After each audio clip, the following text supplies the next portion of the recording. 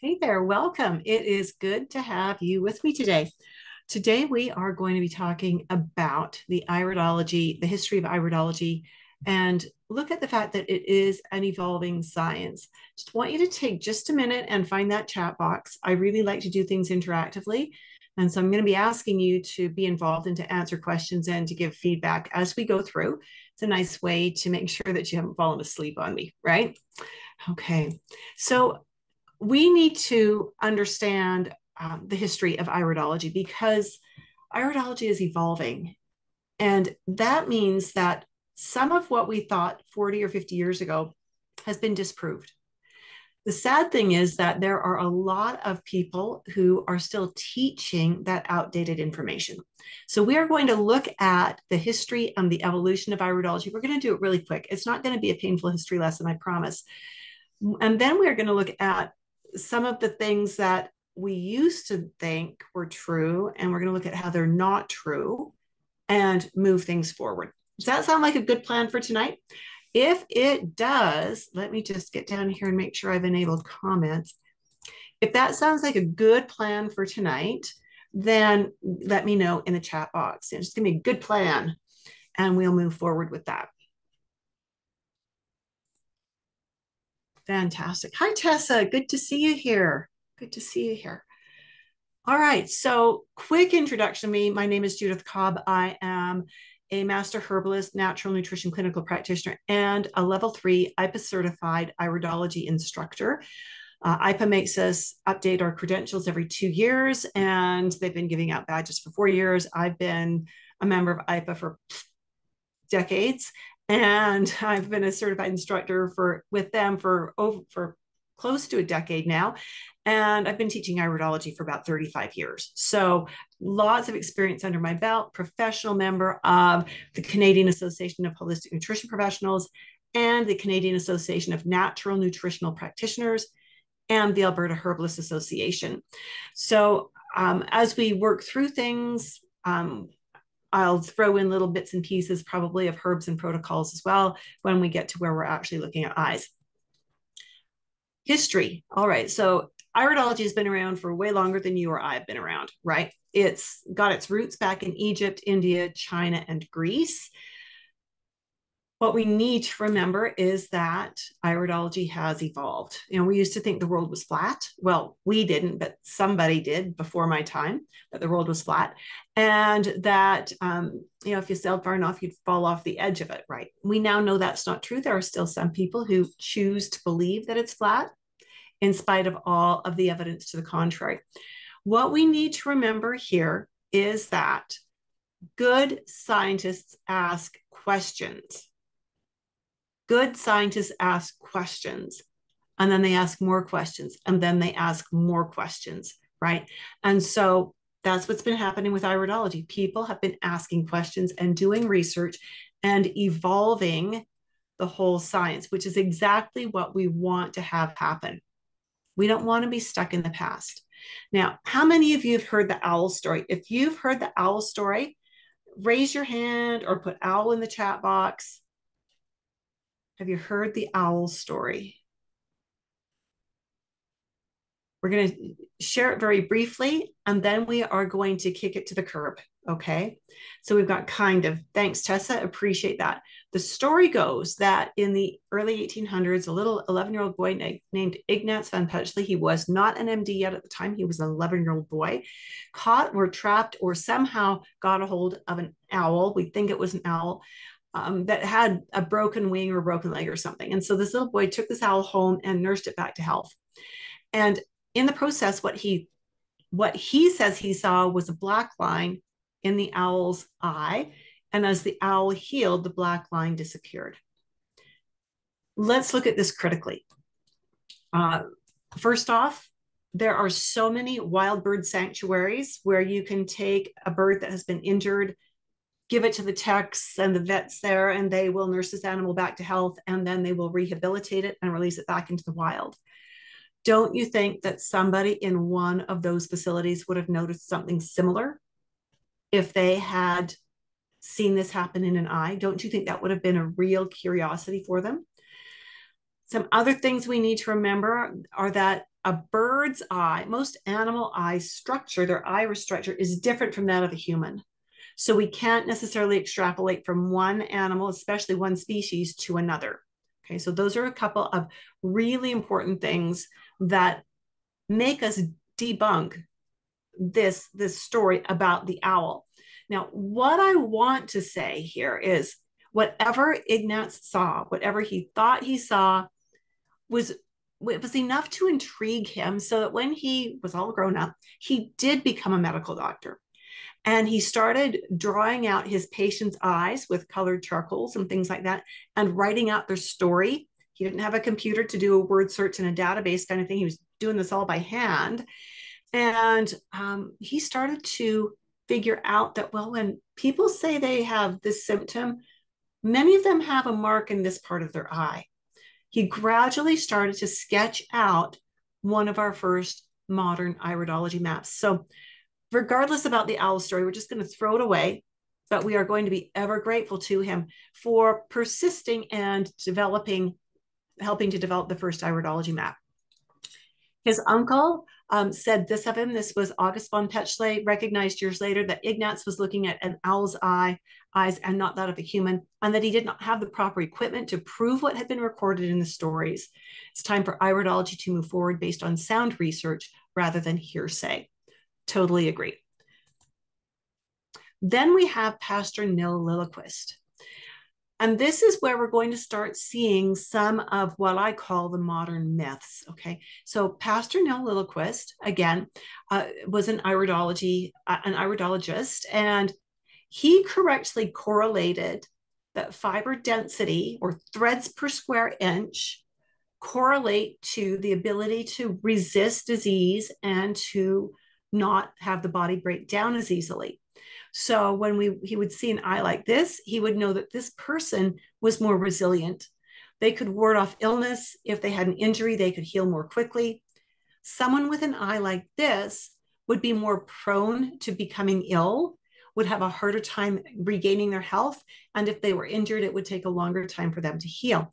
Totally correct on that, 100% correct. He also said that he felt that spots like this and pigment like this in the eye were due to toxic exposures. So this person might have been, in his opinion, exposed to a medication or you know, various medications for, big pharma was just sort of in its infancy. Um, and so he felt that this was a result of that. We now know that is not correct. We now know that these pigments that we see in an eye are actually the result of genetics. They are they're epigenetic indicators.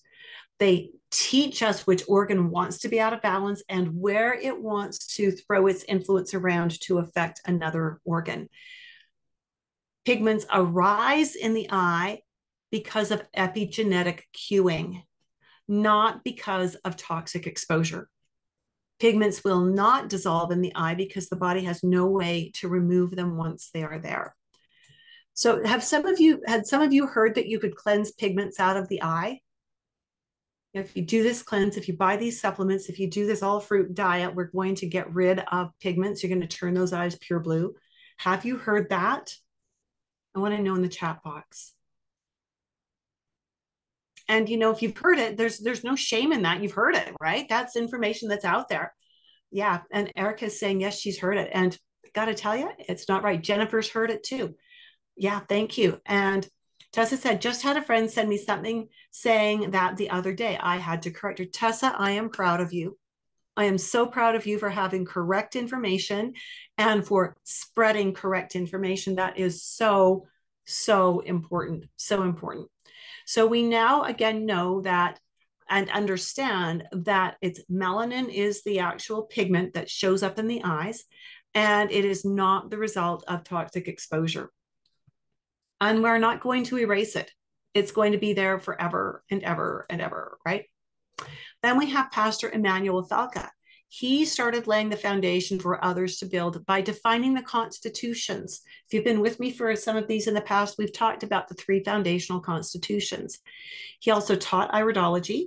There's an institute in Germany that is named after him now. It's called the Felke Institute Germany is an interesting place. In Germany and Russia both, you have to be either a medical doctor or what they call a Heilpraktiker, which is like a naturopath, in order to practice iridology. I would not be able to practice in Germany. Does that give you a, a little bit of an insight that there might be some validity to iridology? Tessa says yes. Thank you, Tessa. Okay. Rudolf Schnabel. All these men are, are these researchers are coming from that Germany area, Germany, Hungary, uh, places like that, late 1800s, early 1900s. Um, he researched more on the pigment. So he was able to help us sort out some of the pigment information. And he did research about pupil size and shape.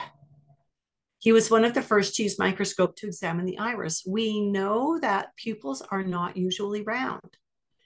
And when we see a flattened side or many flattened sides, it suggests to us where the spine has been subluxed for a length of time and what organs will be influenced because of that. Very cool stuff, right? We actually teach that in dynamic iridology. We do a module on that one. Schnabel said, oh, and I so agree with him. Oh, I so agree with him. I want to just reach out and give him a hug for this. It was no easy task that those who believe or would like to believe that handling iridoscopy or iridology can be learned within a few days or even a few weeks or even a few days are mistaken and do a disservice to a good cause. I see so many people teaching 12 hour workshops or six hour workshops or three day workshops, and at the end, they give a certificate and you're now a certified iridologist. I was like, no, you've learned how to identify markings, but you haven't learned how to connect them. You haven't learned how to correlate them to your client's symptoms to give you the understanding of why your client has the problems they've got. You've only learned to identify markings, right? You can read the map, but you don't understand the map. And so I agree with Rudolph, it takes way more than a few weeks or a few days to, to get this under your belt. Joseph Angerer was one of Schnabel's students. So now we're getting into second generation iridologists. He became a naturopath. He was very concerned because all of these different iridologists were creating their own verbiage to go with what they were seeing and what they were describing and what they were understanding. So we had all these different people all looking at the same markings, but using their own words for them. And Joseph wanted to unify that. He realized that was creating confusion, which even now it does when we look at Jensenian language versus Rayid language versus constitutional language. Uh, there's so many sets of words that go around with these.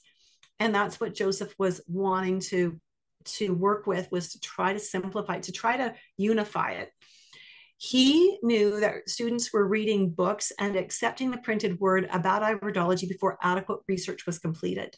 So many of these early researchers were publishing books, but they were publishing them really based on theory rather than on proof. You know that saying, you can't believe everything you read? It's absolutely true about iridology. You can't believe everything you read.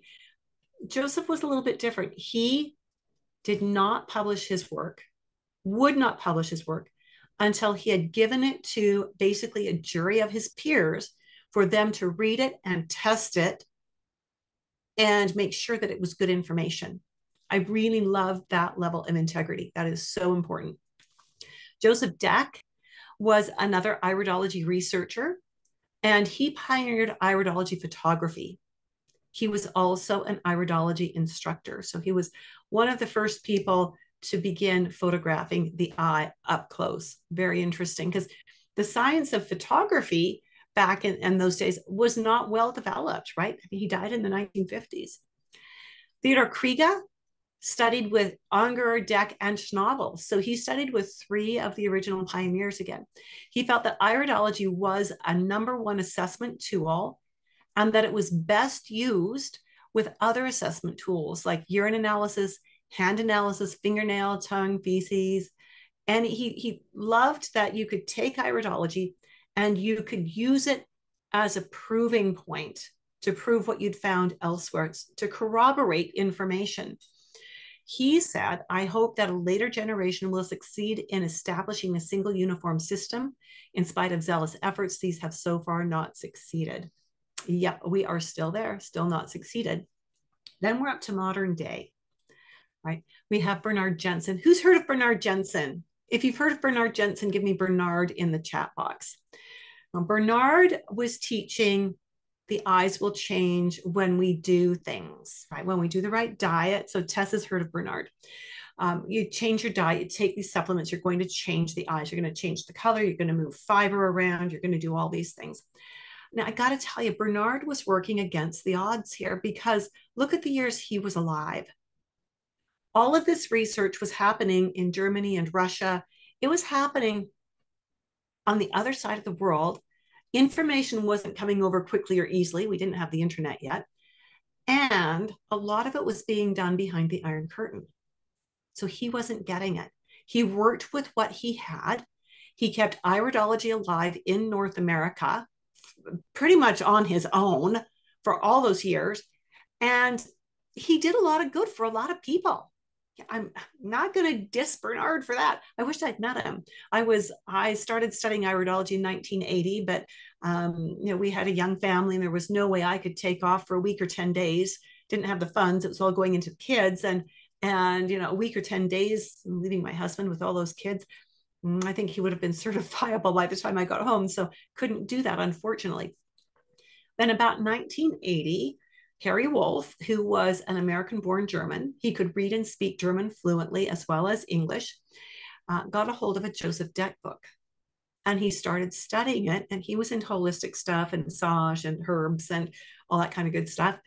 And he was getting excited about this. And he was going around and teaching what he learned in little fairs and things like that. He connected with Bill Caradonna, who at the time was a registered pharmacist. And Bill loved this stuff. He, as a pharmacist, he recognized that what he saw a lot in the pharmacy was the same people coming back for either the same prescription or a stronger version of that drug or a different drug that was stronger. People were not getting well on drugs. They were in, in that medical treadmill right? In that big pharma treadmill. So he started studying iridology with Harry. They started teaching workshops and taking it around. And Bill started teaching iridology at Bastyr Naturopathic School. I don't think they offer the course there in Seattle anymore, but he taught there for many years. And then he eventually became an ND as well. Bill was my constitutional instructor. Very grateful to him for that. Um, Jensenian, Rayid, and Constitutional, those are the three primary styles of iridology that are taught in North America right now. Have you heard, I know you've heard of Jensenian because you've heard of Bernard Jensen. Have you heard of Rayid? And have you heard of Constitutional?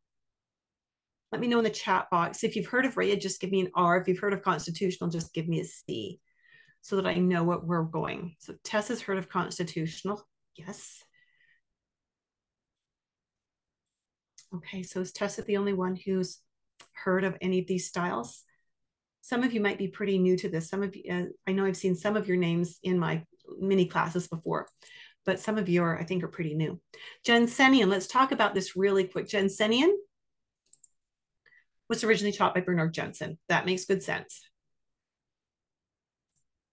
He taught that the iris changes when the body changes. So we would move fibers around in the eye. We would change pigment. We could change color based on diet and lifestyle. Traditional Jensenian iridologists have do, often done iris readings cold with no background information from clients. Now, I don't like the word readings because it's not a reading, it's an assessment. And here's the difference a reading is I'm telling you things. You know, I it's I'm telling you things you don't know about yourself. An assessment is I'm gathering information from you. We're having a conversation, and I'm putting this together in the context of you. All right. And so I know there's uh, was a Jensenian iridologist here in Calgary, a very well-known herbalist, and I'm not going to mention his name. If you went in to see him, you would sit across the little desk. He would look at your eyes. If you dared to say a word, he would shush you 20 minutes later, he would tell you what you needed to pick up at the front desk and what was wrong with you. And you would go and buy your stuff and be gone and come back three weeks later. No conversation, no wanting to get to know you, not just literally looking in your eyes and telling you what's wrong, right? Not my favorite way of working, that's for sure. Traditional Jensen iridologists practice that way. Modern Jensenians have the advantage that when Bernard passed away, his daughter in law took over the business. He basically left it to her. And she has glommed onto constitutional and she's integrated a lot of constitutional concepts into her work.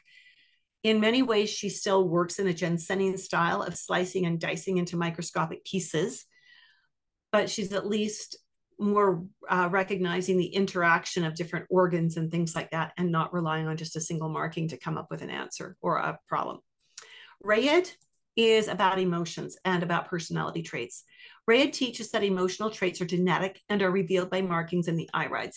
If you have been around children and if you've known the extended family, you will often see that a young child has a mannerism that is just like a grandparent or an uncle or an aunt that they've never met before.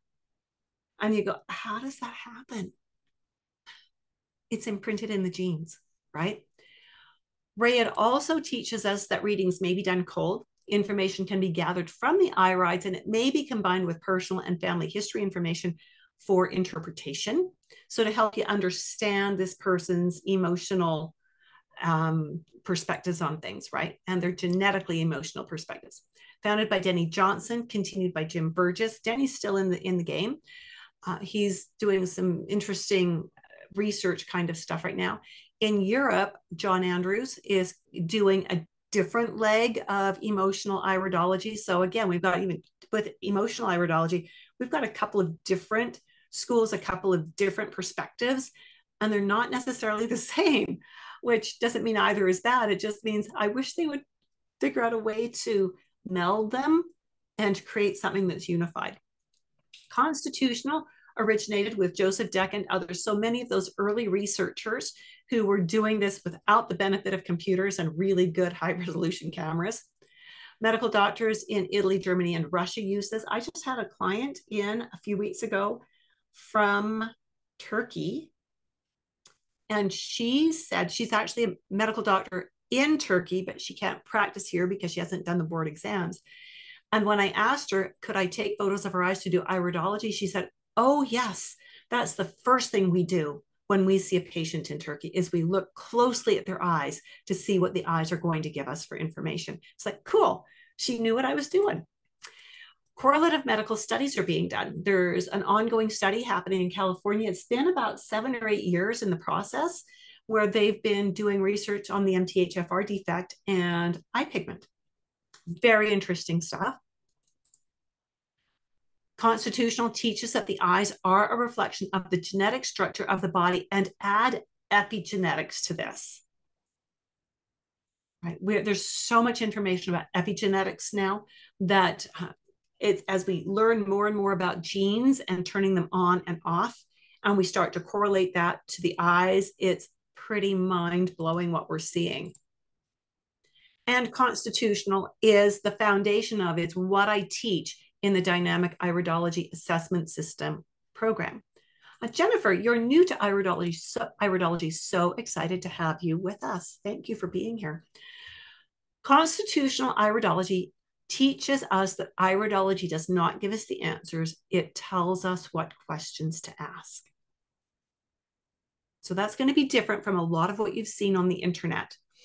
There are people on social media who do free iris analysis. You send in really poorly done photos, and they will tell you everything that's wrong with you and everything you need to do. And it usually boils down to you need to buy about a $1,000 worth of their very special herbal products. That sounds really sarcastic and really cheeky. And yes, it is, because that is not iridology right? Because they recommend when you listen to them, they recommend the exact same things for absolutely everybody. Okay. Iridology, we take the client's symptoms, what they want help with. We look at the eyes. What information do the eyes give us? What information do the eyes give us to help us understand why our client has these symptoms? Then, what questions do we need to ask further to understand how everything ties together so that we can create a protocol that's going to take our client to the next step in their health. We can use um, our other iris and sclera changes may continue to become visible with time, revealing areas that may need support. And background information is important. Readings are not done cold. I don't even use an intake form with my clients. They sign a release form, but they do not sign a questionnaire or they don't fill in a questionnaire. I use the what would you like my help with and their iris photos as my questionnaire. That's what guides the questions I need to ask because they might not need, probably won't need 90% of the questions that would be on a standard questionnaire, but they probably need 15 different questions that you would not put on a standard questionnaire. Does that make sense? Does that make sense that we use iridology to guide our questions? If that makes sense, give me, yes, ma'am, says Tessa. Thank you so much. So we want that background information. I have never had a client complain about not having to fill out a form. And my clients, when they leave, they often say to me, because the appointments are 60 to 75 minutes long, and they will say to me, I appreciate that you were listening. Um, you're the only person who listens to me. I've got lots of clients that have been with me for decades now. I could do their appointments in 15 minutes. I know them that well. They still book an hour because they want someone to listen to them. They want to be heard, right? That background information is so much a part of healing, so critical. So I started learning iridology in 1979. Constitutional had not yet made it to Canada. It was only in its infancy in the US. And of course, I because all we had was Jensen, I studied that, I embraced it. And I was absolutely sure this was just cast in stone, accurate, gospel true. Oh my goodness, yes, this is such good stuff. But after about five years, I began to see mm, this isn't working. It's not working the way I was taught it would work. And after 10 years, I kept struggling, trying to make this work? Can I twist it? Can I turn it? Can I shape it? And I was never able to make the Jensenian style work. And I was ready to just walk away and just go, that was an interesting experiment in futility. But that was when I had the opportunity, just nothing is accidental, right? The opportunity to start learning constitutional iridology. As a Jensenian, every one of these would have been called a lesion. And every one of these would have been a critical problem happening right now. This would have been like, oh my goodness, we'd better panic yesterday. All of these would be a problem. This little patch of yellowy stuff here would have been toxicity. Um, this would have been, um, what do we have else? This would have been inflammation.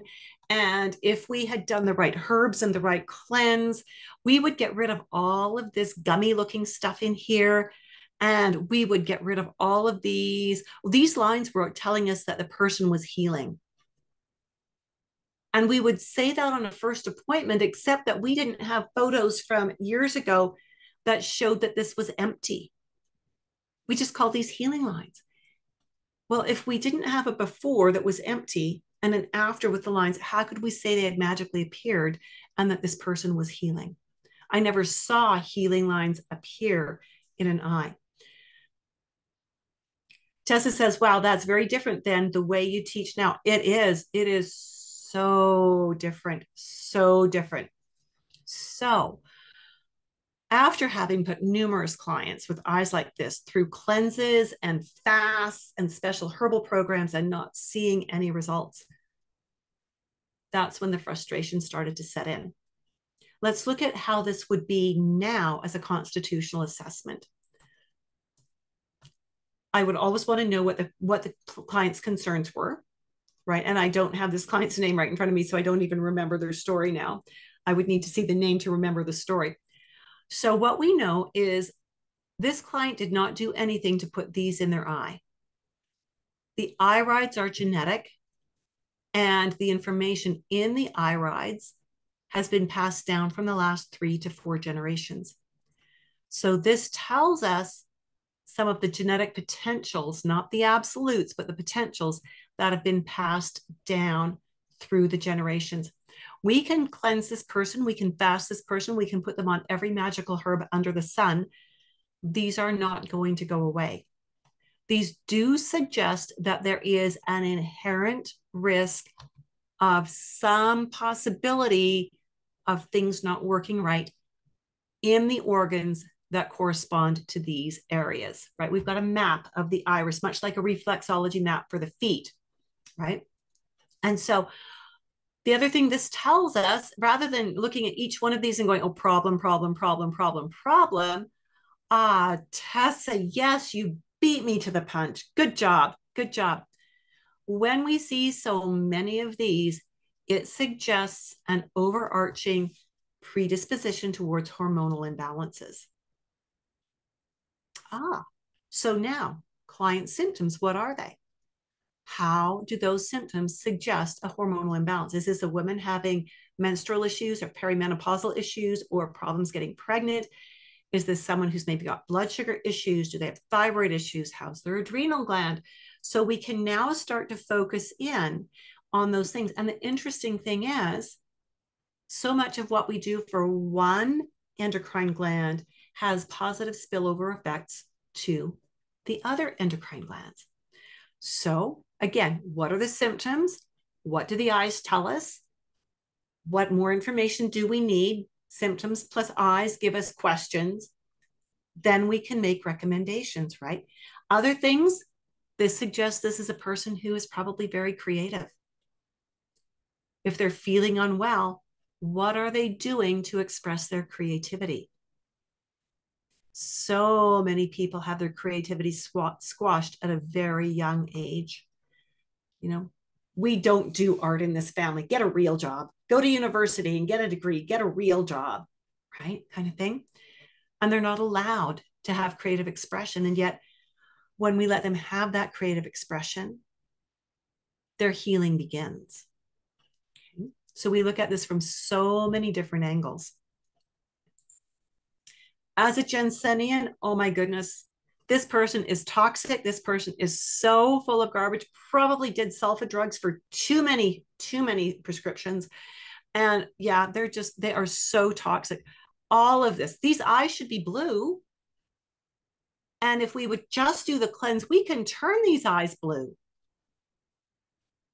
Okay, well, never saw that happen either. Now, you know, and I had teachers and I had that would say that, and I believed them. I trusted my teachers. We looked at books that talked about how these things would change.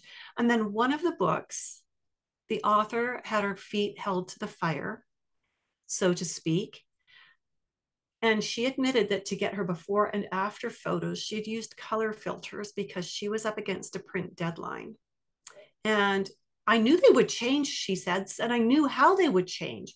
So I knew that if I use, I could just use color photos and mimic that change and we would be fine. Only she wasn't fine. Um, you know, we also need to consider with things like before and after photos is what was the technology that was used? There's a a woman, I don't even know her name. She's on YouTube and she talks about how her eyes used to be brown and now they're blue by going on an all fruit diet. And when you look at the two photos, one is a very bad school photo. Is there such a thing as a good school photo? I ask you, they're always done in very warm tones, which means everything is going to look more brown. Everything. The image that shows her having brown, blue eyes is done in bright natural light two very different cameras, two different sets of lighting, even so far as different paper that they were printed on. That will all change the output. We, we've known that for ages. I knew when I when I shot when I did iridology photos with film, I knew Kodak shot warm, and I think it was Fuji that shot more to the green tones. So you had to know your camera, then you had to know your paper, and then you had to adjust in your mind for all of those bits and pieces. Changing the camera or the lighting and the room lighting, it all changes the output. So um, as I was getting more and more frustrated and getting ready to walk away, I'd get a person like this who you need to cleanse, and I'd put them on a cleanse, and we wouldn't see the change. They would feel better. Isn't that the real reason we were doing this? Was to help them feel better, to help them regain their health? Did it matter if their eyes changed? People would say, Well, how do I know if it's working? Well, do you feel better? If you feel better, it's working. Like, you don't need an outside validation here. How are you feeling? Constitutional iridology, I would look at this instead and I would say, hmm, okay, we're going to, we don't have the symptoms, so I'm going to fly blind here. Lots of yellow. That suggests kidneys want to have a huge impact on everything. Lots of browns. That suggests liver wants to have an impact. The browns and the yellows, browns are focused in the nutritive zone, yellows are focused in the nutrient transport zone, and they are spanning the collarette, which is one of the most important indicators of the nervous system. So we know kidneys and liver want to in, impact, yes, digestion, and yes, nutrient transport, but also nervous system. Okay. So, what are the client's symptoms?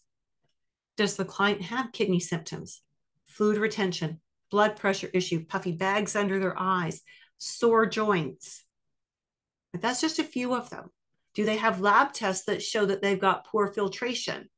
Right? How's their creatinine? Things like that, right? What indicators do we have that the kidney's out of balance? Digestion, gassy, burpy or farty? Uh, how, what's their bowel transit time? Are there foods they've learned to avoid because they don't sit well uh, or they cause an actual reaction? right? Um, when we see these rings coming around here, we used to, with Jensen, this person was either headed into a nervous breakdown or coming out of one. How would you like to be told, you are so close to a nervous breakdown? No. This tells us the person burns through their, their nerve nutrients, tells us they internalize their stress, and they like to be busy. So, what do they do for relax time? How do they calm the noise? How do they let their body rest? How do they let go of stress? What is the client's diet? What is their lifestyle? What is the client doing for their health? Right. And that's all going to tie back into what we've seen in the eyes. And those questions come from the eyes. We haven't asked anything way out there. We've looked at the eyes, looked at the symptoms, and come up with the questions. The beauty of doing iridology this way, one of the beautiful things, oh, there's so many beautiful things. One of the beautiful things is that we do the assessment based on today's symptoms. We create the program right here, right now. So they leave the office with a plan. What are a couple of dietary things we want to do? Is there a lifestyle something? Are there a couple of supplements we want to implement here? They leave with a rock solid plan they leave knowing that what we've done today is not everything they need to know for the rest of their life. It's to take them up one notch because we're going to build a healthier lifestyle one appointment at a time. We're going to, each time we meet, ask, How have the symptoms responded? How's your body responding? Oh, those symptoms are gone. Oh, so great. What else are you noticing? Well, now I'm feeling this ah, we had to get rid of that first symptom for you to see the second one. Now let's understand where that symptom is coming from, which organs are involved, which organs are still out of balance. How do we need to continue to shape the diet, the lifestyle? What supplements do we need to move around to take you to the next level? So we're doing this in baby steps that the client can manage very successfully. Does that sound like a good plan? let me know if that sounds like a way that you think would would work with the people you work with and if you've been a silent minority today i'd love to see your comment in, in the chat box so again with an eye like this every one of these lesions oh i dislike that word terribly thank you jennifer every one of these lesions would be a problem that's happening right now Instead, it gives us an understanding. This person is what we call a connective tissue constitution. lymphatic connective tissue. What does that mean? It means that she's prone to creating too much acid in her body and that her connective tissues genetically aren't robust. She'll be more prone to sprains and strains, joint issues. Right? She's going to be a, more prone to the structure of her body not being robust. And especially if she carries an elevated acid level, that's going to put a strain, an additional strain on her structure. So, how did I get to that? Oh, I'm just that brilliant, Tessa. um, well, because she's lymphatic and because she's got these pigments in here. These are the dots that I teach you how to connect in the course, right? I teach you how to get there really quickly so you don't have to labor over every little point. So, with this client, what we've done is we've um, taken away her coffee, screaming and kicking, No, not my coffee, not my coffee. Yes, your coffee. We're taking that away. We're going to get you to chew your foods a whole lot better. We want you to drink clean water, right? And we're going to have you get protein three times a day. And here's some help digesting it. Let's start there, right? Because we're not going to change her eye structure, but maybe by giving her the right nutrients, we can help her body function better within its genetic capacity, right? Because every genetic thing we have, most genetic things are a range of possibility. You treat your body poorly, you're going to come out at the bottom end. If you treat your body well, you'll come out at the top end of your possibility. And so that's where we want to be working is always guiding our client to the top end of their possibility. You know, I when I first learned constitutional, uh, Harri Wolf and Bill Caradonna had produced some v- VHS. Oh my goodness, do you even know what VHS videotapes are? Have I just dated myself terribly?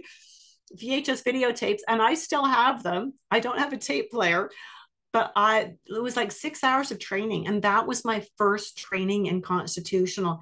And as I watched those videotapes so many times and made notes on them so many times, and would add notes between my notes, and would just pad them up and oh my goodness and then i actually bought, brought bill to canada twice to teach certification classes here and just oh i'm still in touch with him and i'm so appreciative of him back to our eye. This is not toxicity. This is the body genetically teaching us that one body, one organ wants to be out of balance and it wants to create stress for another organ. So when we then see symptoms either in the organ of origin or in the organ of destination, we know we need to do two things. We need to have a chat with that organ of origin and we need to teach it a few remedial lessons and get it back on track as best we can. Maybe that means this person's going to need to take some supplements for the rest of their life to keep that going well. And then we need to have a chat with that organ of destination and we need to kind of give it some love and soothe it like a child that's been picked on, because it has, it's been picked on. We need to soothe it, we need to nourish it, we need to nurture it so that it realizes it's loved and we can help it function a little bit better as well to the best of its possibility, right? Constitutional iridology teaches us to look for patterns and to understand the interrelationship of organs, where a Jensenian would look at this and would start picking out each individual little shape and each individual shaded area and each individual pigment. As constitutionalists, we take that step back and we go, how does this work together to get our client to where they're at now? And how do we use this to get our client out of where they are now? Right? More holistic. That is the perfect way to see this, Tessa. More holistic. So, this person might have issues with connective tissue, with kidneys not keeping up, with liver, lymph- lymphatic system, immune system. Again, we need to know what the symptoms are. We need to know what the diet is. We need to know what the lifestyle is. We can't just say what the problems are without knowing how they're feeling and what's going on and then we want to teach them we want to guide them. We are teachers. We are not healers we are teachers. Our job is to teach and to empower our clients so that they can instigate the healing themselves. That's what we are after here. And whether we're making dietary recommendations or supplements or lifestyles whatever your background is or some of all of that that's perfect. And that's what i strive to teach my students in the course is i strive to teach them let me rephrase that. I strive to get them to to draw on what they already know. So if their background is holistic nutrition, and we see an eye like this, and we begin to understand the chemistry that this person has, then I'm going to ask that student, and what would be three specific food changes you would want to see this person do? What are three things you would want them to include? What might be three things you would want them to take out of their diet? Right. And I get my students integrating their existing knowledge with iridology because iridology doesn't stand alone, it integrates. Old iridology would say this person is stressed, headed for a nervous breakdown, has parasites, and needs a parasite cleanse right now, if not four years ago. Okay, you've probably heard things like that on social media, right? Constitutional says, look at this eye in the context of the owner. It, uh, and Tessa's saying it was close with the stress, kind of. Okay, fair enough. Fair enough. So this is the eye of an Asian woman. She was in her mid 30s, and she and her husband had been trying to conceive for three years. They had been to the fertility clinic, and the fertility clinic gave them metformin and, and Clomid, and that was it. And they just said, "This is how you use these drugs. Go home and get pregnant." They did one one cycle with the Clomid, and absolutely no results. And that's when they finally decided to come see me. Her cycles were running 90 days, which is absolutely guaranteed an infertile cycle. If she was to conceive on a 90 day cycle, the likelihood of it being ectopic or miscarrying is like almost a guarantee, almost a guarantee.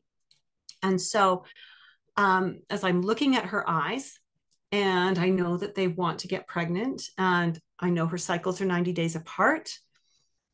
I ask her some questions like, have the doctors ever suggested that this would be that you have polycystic ovarian syndrome? Oh, yeah, that's what they called it. Well, what's the thing that is always like this with PCOS, like 95% of the time? Anybody know? What is the other um, comorbid condition that exists with PCOS?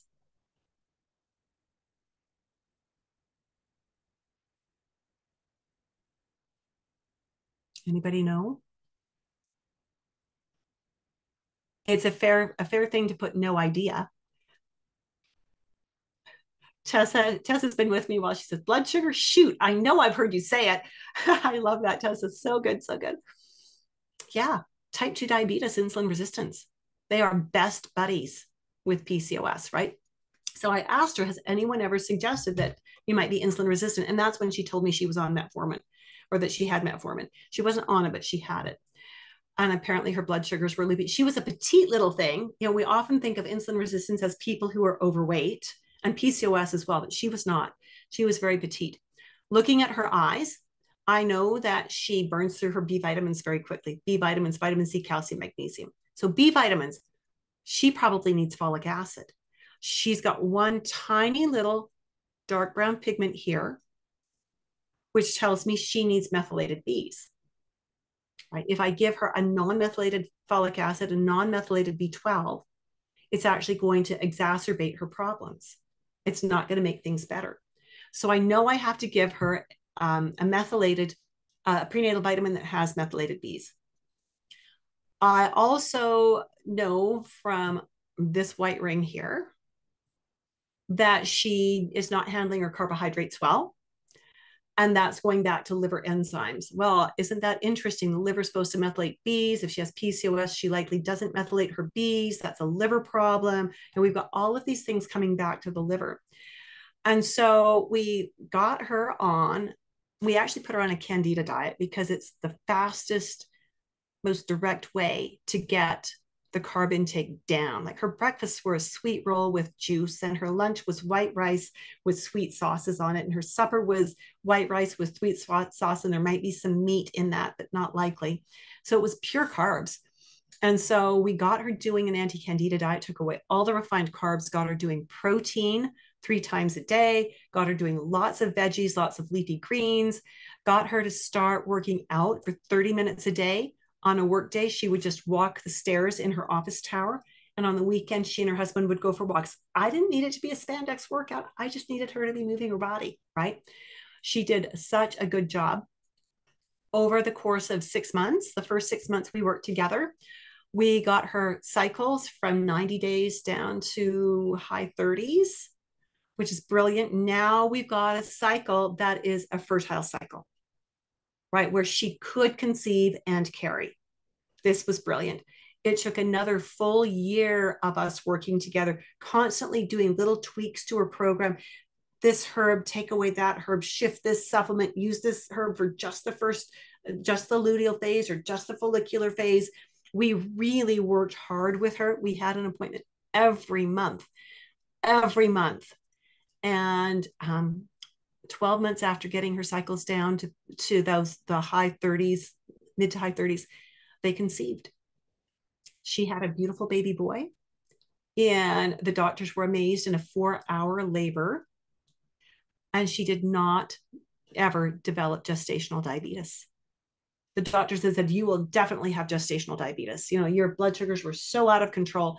She did such a good job. She and her husband, they were a team. And so much of what I suggested for them came from the eyes, came from the eyes. I understood I mean, she's got radial furrows going through ovary and through uterus. So I knew the ovaries um, had some involvement here, had some some weak links, and we needed to support that. And we just kept working and building. And yeah, it was so so fun. I remember I was sitting in church with my with my pregnant clients where where I'm seeing them every month. Um, I give them my personal phone number. And I was sitting in church one morning and my phone rang oops. But I, I thought she would be in labor pretty soon. So I nipped out of the church meeting and she was in labor. And was, when do we go to the hospital? What do we do with this? And I said, no, you're perfect. You're doing beautifully. You know, yeah, if you can talk to me this calm and this relaxed for this long, you're not quite ready for the hospital yet, but you're doing so well. You know, it wasn't long before she was ready. Very exciting. I don't mind interrupting my church meetings to be supportive to my laboring moms. So here's one of the myths. Okay, we're going to start dispelling some myths here. Um, can we monitor your progress and see changes in your irides? These are my husband's eyes, taken at the age of 42 and at the age of 65. Notice the camera. This little light tells you, that alone tells you it was a different camera, different lighting. This was incandescent light. And this was, with that, this was a print this was print. And I happened to get a scan of it. Okay. I don't have the print anymore. This was my original iridology camera. This was my first digital camera, my first 24 megapixel that had an LED light. Different brands. This was a an Olympus camera. This was a Canon. That's going to account for some difference. The the fact that this was print, this was digital, that's going to account for some difference right? So there's a lot of people would say, well, the eye on the right is so much bluer. Boy, has he ever done a lot of cleansing work? Uh-uh. No, I just try to feed him healthy all the time and keep him on supplements and make him work out with me and yeah, try to keep him healthy, right? But this wasn't the result of cleansing. Oh, but these fibers are wobbly, they're wavy. These are so much straighter. That's so much better. Uh-uh. Pupil is larger. That's going to compress the iris tissue. That's going to make the fibers look wavy. Pupil is smaller. It's a brighter light. That pulls the fibers straighter, right? So Tessa says, is there a general category that a radial furrow suggests, like a contraction furrow suggests possibly need nerve nutrients? Not a general category. Um, your radial furrows always suggest an interruption in nerve feed. And then depending on various characteristics about the radial furrow will teach you more about what you should do because of it. Okay. So we don't see changes. We don't monitor the progress in the irides. We might see changes in the sclera. The sclera is much more dynamic. But uh, again, it's going to depend on how long the marking's been there. I call this as Harry Potter Harry Potter scar. So when you look at this, this one was much lighter. Two decades later, it's much heavier. But two two decades ago, this was much heavier, and now look at how much lighter it is. Right? So the, the blood vessels in the sclera can change and they give us a more dynamic read on things. Okay. And notice that we've got pigment here at the age of 65 that he didn't have at the age of 42. Pigment has accumulated. But pigment does not disperse, it only accumulates. What about those healing lines we talked about? Okay, let's talk about healing lines. This is my eye. Um, and for those of you who know anything about iridology, you now know all of my secrets. In 2017, I happened to take this photo because I got a new camera and gee, that's all just fun. Notice the color difference. Again, a part of that, uh, the most of that is a different camera, different settings on the camera. Okay, that's that's going to account for all of the color variations here. March of 2019, I fell and broke my arm in two places and ended up in surgery. If you look at a Jensen map, this is the area that the arm shows up in. And look, this is two years before. This is literally five days after a double break, basically a double surgery with two plates put in my arm. And it doesn't look any different than it does over here. Right? That's pretty crazy wild. Pretty crazy wild. Looks just the same. So then, just to prove the point, 10 weeks after I broke my arm in two places, I fell down some stairs and I broke the same arm. I broke my elbow. Right. I ended up in surgery to repair that and to put in some wire. And so you see that down here, same arm, it looks exactly the same. Fibers are a little tiny bit wobblier because the pupil is a little bit bigger. And this was this was actually about 10 days after surgery. I do not do well with a general anesthetic. I'm sure my brain took weeks to recover. And then I figured, you know, why not just check it out again later? And it's really exactly the same. You know, if we were using the owls thing, we the owl story, we would have expected to see a black line coming down in here at the break. And then we would have expected to see that fill in, but it didn't. It didn't. And you know, my scars have healed really well. You probably can't see them if I show them to you, but it's all on this arm, right? So healing lines, they don't happen. Neither will there be an indication that you've had surgery. There's not going to be a black line in the eye for surgery or for a broken bone. It just doesn't happen. Back to my husband's eyes, pigments, can we cleanse them? Can we, what can we do to get rid of them? Oh, I'm telling you, I put my husband through so many things. He loves me. And that's a good thing because I'll put him on herbal cleanses. I'll get worried about him. I don't want him to, to get old, right? So I'll put him on a cleanse, put him, we'll go on a special nutritional diet together to rebalance things. We're always doing something. And he still accumulates pigment in his eyes. That's not toxins. It's epigenes giving us information?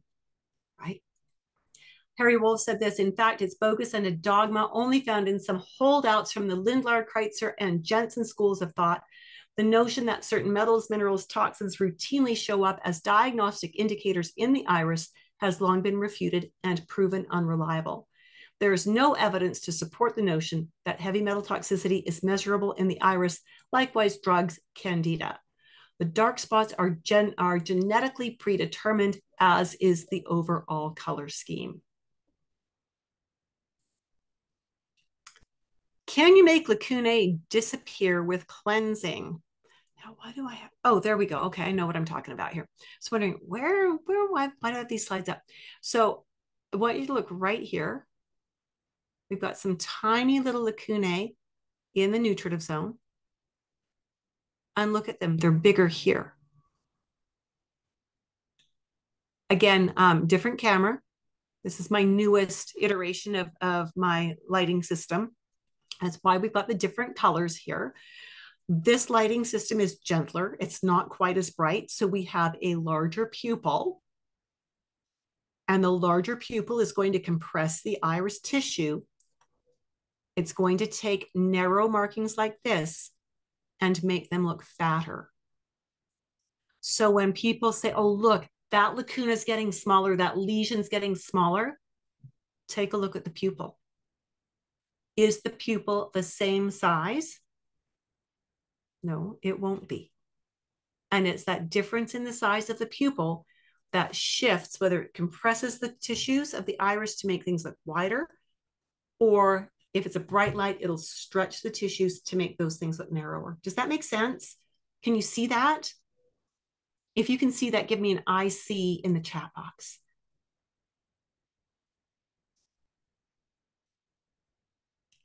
Ah, Tessa, thank you. Anybody else see that? Is Tessa the only one who's seeing things today? Jennifer sees it. Yes, thank you, Jennifer. And Erica sees it too. Fantastic. So good. So good. Can we see parasites? Okay, what have we said about the irides? That they're that they are genetic and they are epigenetic. They are uh, genetic. I think you meant genetic, not generic. Oops. Yeah, I love that, Tessa. Love that.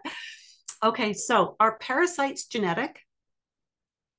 If I have some kind of parasite and I have a child, would I pass that on to my child through my genes or would I pass it to them through exposure? Tessa says, no, you wouldn't pass it on. No, it would be through exposure, wouldn't it? Through exposure. So you don't see parasites. These black radiating lines are about, ex- if you have parasites, they're not going to show up here. If you've got parasites, they're from exposure to, to that, whatever, you know, that, that um, the parasite egg, if you will. This radial furrows are about the nervous system, not about parasites we could parasite cleanse this person. This is that that uh, Asian mom that I worked with. We could parasite cleanse her until the cows come home, and that would be a challenge because I have no cows to come home, and those lines would not disappear.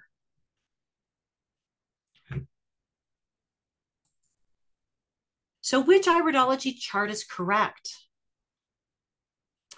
Well, it depends on what kind of iridology you want to do. You're going to see a lot of iridology maps out there. And many of them are subdivided into such tiny little sections that if you are off by even just like one degree on the horizon, like you're flying an airplane, you're off by one degree on the horizon, your whole assessment's going to be wrong. And you're assigning all kinds of problems to all kinds of things that don't exist. When we're doing constitutional iridology, I uh, we are looking at organs and systems that are metabolically reactive, right? My pinky finger is likely not affecting how my pancreas works, but my liver sure does, right? My brain is going to affect things. Um, my eyes are not going to affect things. Right? So I'm not going to use, I don't want those extra things on my map as a general map to use. Tessa says, I like yours best so far. The course I took used a different map and it was way too much, if that makes sense. I it does make sense. I've got lots of different iridology maps and they all have way too much on them. The problem with that is you get bogged down. Even if you're on the perfect level with your photos, you're going to get bogged down in details that are irrelevant to your client and their situation. It's not going to do anybody any good. So we like to use the constitutional map. This is based on the work of Bill Caradonna. He uh, developed the first constitutional map that I saw, and he had been out of teaching for about 20 years. And I approached him, and I, as I was starting to teach, I said, Can I take your map and build on it because we've got new information? He went, Absolutely. Take it and go with it. He said, I would give you the original digital files, but my office manager had them. And when she passed away, she lived in Florida, he lived in Seattle and so she was a, a, virtual assistant distantly and she said he said when she passed away her office got cleaned out and all the files were lost so i had to start from scratch but i had his blessing to go ahead with this now for those of you who would like a copy of this i'm going to put, put this put a link in the chat box there you go grab that link and you'll it'll take you to a place where you can enter your details to receive the download of this map by email. Okay. So we're not going to get hung up on anything that doesn't affect metabolism. So here's another question. Is brown pigment in a blue eye an indication of toxicity?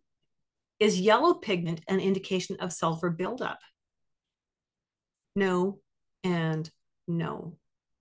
Absolutely not. Tessa's got it. Negative. Negative, Big Bird. Absolutely. Another question Is white in a blue iris an indication of scarring or stagnant lymph? Absolutely not. Absolutely not. There are a lot of people out there where the only solution to every health problem is to work on the lymphatic system. I agree the lymphatic system is very important. But if you've got someone who's already got a clean diet and they're physically active and their lymphatic system is flushing very nicely, they can still and they will still have any of the, the lymphatic system markers in their eyes that they've always had. Right. So it's not an indication of these things being current situations.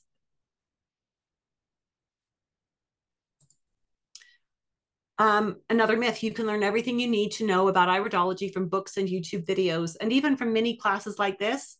Mm, if by everything you mean that one mark means one problem, then, then yeah, you can. However, that's a really shallow level. It's kind of uh, bringing iridology down to the level of a party game.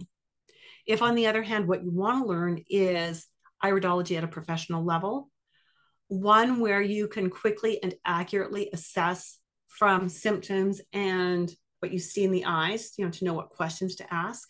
One that teaches you how the different markers work together to think through an eye. I don't teach cookie cutter formulas. I teach you how to take what you know about anatomy and physiology and what you know about nutrition or herbology or whatever else you do.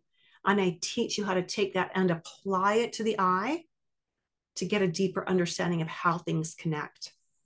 That's why you have to have anatomy and physiology under your belt before you come to me. Tessa says you can learn enough to make you want to learn more, though. Yes, you can. You can. Just don't fool yourself to thinking you know enough to do it as a professional iridologist. So, what you really need then is you need a course, you need a mentor, right? So, can we diagnose diseases using iridology? No, we absolutely cannot name diseases diagnosis is a medical procedure. And in every jurisdiction that I've ever seen or heard of, it is the, the property of medical doctors. And in some places in the world, naturopaths. Um, but we do not, we do not diagnose now. When I started out as a Jensenian, we were diagnosing left, right, and center. Oh my goodness. As I think back, I'm very lucky I didn't end up in jail. And the interesting thing is that I was usually wrong usually wrong. So now we don't do that, right? We know that we use iridology as an assessment tool to help us understand the client's physiology and to, to help us build rapport. Right? We're looking at the eyes. We are asking questions that are specific about the client, not generic questions. We build rapport. We know that iridology is a powerful assessment tool, a very powerful assessment tool. So you might want to know things like how long does it take to learn iridology? The way I teach it to learn iridology is 20 weeks, 20 lessons, right? And then there's mentorship after that as well to make sure that you're doing doing iridology really well and confidently. Can you earn a living with iridology? Not by itself. You need to have something to put with it, right? Nobody wants to go to a car mechanic to be told well we know what the problem is but we don't fix cars here. We only we only tell you what's wrong. You have to take it down the road to get it fixed. If all you know is how to assess an eye but you don't know how to create a protocol you don't have nutrition or herbology you're never going to get anywhere with it. So you need to have nutrition or herbology to turn this iridology into an assessment tool that you can earn a living with I found a course that is taught from books and videos. Good enough? Again, it depends on how deep you want to go. Now, I say that because I still have questions about iridology. I call them my 2 a.m. questions. Those are the ones that I send to Bill Caradonna. I know he must roll his eyes. Actually, he doesn't. He's a sweet sweetheart. Um, but I come up with these really weird questions and I need to ask them of somebody who knows more than I do. And I know Bill will answer them for me. Right. And so, really, the best way to learn is with someone who will answer your questions, who will mentor you, who will help to help you to understand the process of working through it so that you can find the answers really effectively. So, so important. So, I think live instruction is best, even if it's over a webinar and it's interactive. Um, could frequency healing help too? Yeah, absolutely, Jennifer. It absolutely could. So, if you understand based on symptoms and imbalances that you discover by doing iridology and by understanding your client's symptoms, if that helps you to understand what frequencies you need to use, you could absolutely use frequencies. I have many students who do aromatherapy or flower essences, right? I've got a physical therapist in Alaska, and she has integrated this in with her physical therapy. So you just have to have something that is um, will integrate with it, right? And again, when I'm teaching a course, I try to draw that out and help my students see how their existing skills will integrate so that they can, when, as they're going through the course, they can actually start using what they're learning. Dynamic Iridology Assessment System is the only live, online, fully mentored course for nutritionists, herbalists, naturopaths. Think of that as anyone who has a college level anatomy and physiology course under their belt already.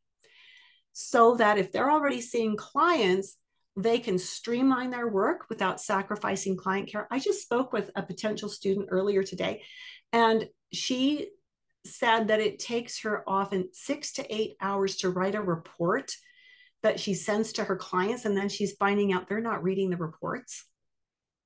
It's like, what a waste of time. How about we teach you iridology so that you can create the protocol while you're with your client, send them out with the notes that they took about what you've taught them. Next client, please. Right? So we want to stop doing unpaid overtime to create reports. We want to stop overwhelming, overwhelming our clients. If it takes you six to eight hours to write a report, you're you're snowballing your client. They're drowning in the information. They don't know where to start with this. We want your client to be compliant. A simple, succinct program that is targeted to them is how we do that and that's going to lead to long-term retention. I'm seeing a client again on Friday. She has been with me now for 40 years, like from the beginning. Uh, she's probably been 43 years now. We were chatting the last time she was in to figure out because we were both having babies. Which baby was she having, and which baby was I having? And that we figured out, okay, so that's been about, you know, I think it was 41 years, so it must be 42 or 43 now. Next course start date is November 28th if you are in, interested in getting more information about the course, I'm going to post that link here. I'm giving you lots of links. Head on over to that course, see if you like what you see. And if you do, there's an invitation there for you to schedule a time to chat with me about the course for us to see if it's a good fit. Now, only book a time to chat with me if you have a college level anatomy and physiology course under your belt. If you don't already have that, shoot me an email and I will send you a link to the course that I would want you to complete before we talk about learning iridology. Fair enough? Let's get the prerequisites done. So Jennifer says, I need to start out with anatomy and physiology. Excellent. You know what? So, um, so Jennifer, may I, with your permission, make a note to email you that link for the anatomy course?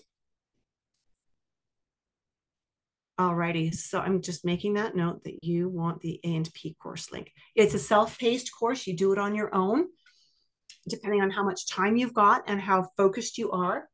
You could be ready for the November 28th start date. Right, so let's see what we can do with that and uh, Mike Knapp, a naturopath in Arizona. I asked him, "Why did you take my course? What what appealed to you?" He said, "The interactive online platform with an experienced teacher and practitioner." You said the fundamentals of iridology could be learned in this format, and that's what was delivered, plus a lot more on how to integrate it directly into current practice. I'm very happy with this training, so thank you. Brilliant, absolutely brilliant. So again, there we have it. Um, again, if you need the A and P link, let me know.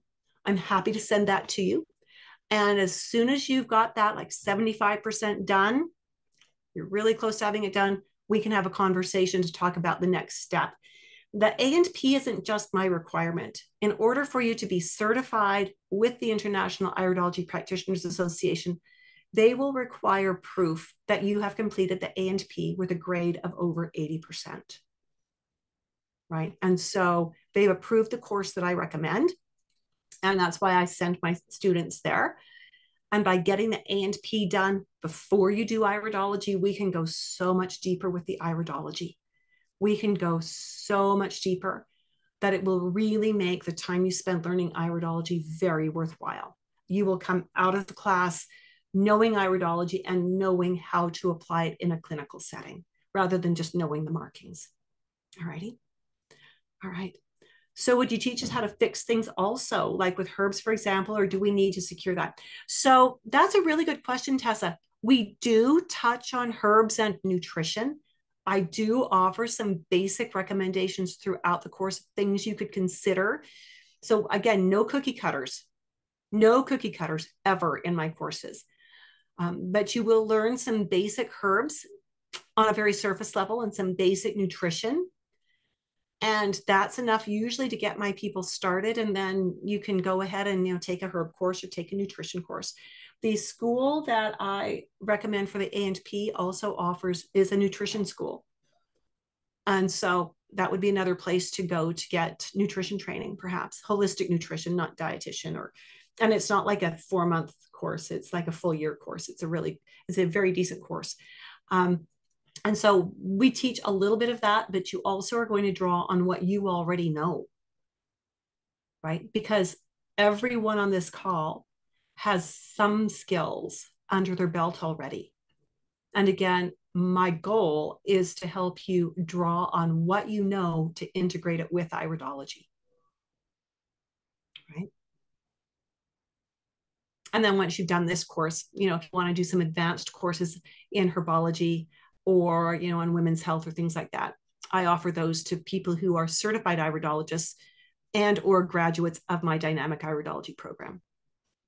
So we can take you deeper as well in those ways. But for now, let's get the A&P done. Let's get the iridology done. Good questions tonight. Good comments. Thank you so much for that. Any other questions or comments tonight? So good to have you with me tonight. So good. Ah, Tessa says, I thought I had to do it the other way around. Sounds amazing. I've always wanted to learn herbology. Fantastic. Fantastic. All righty. Well, with that, my friends, again, thank you for spending this hour and a quarter. We went way over time. Thank you for your patience and for hanging on with me tonight. I truly appreciate it. I had a lot of fun. I hope you benefited from our time together as well. And I look forward to possibly hearing from some of you and um, for certain seeing you in the course at some time in the future. Tessa says it was a blast as always. Thank you, Tessa. Appreciate that. Have a great evening wherever you are, and we'll talk to you later. Bye for now.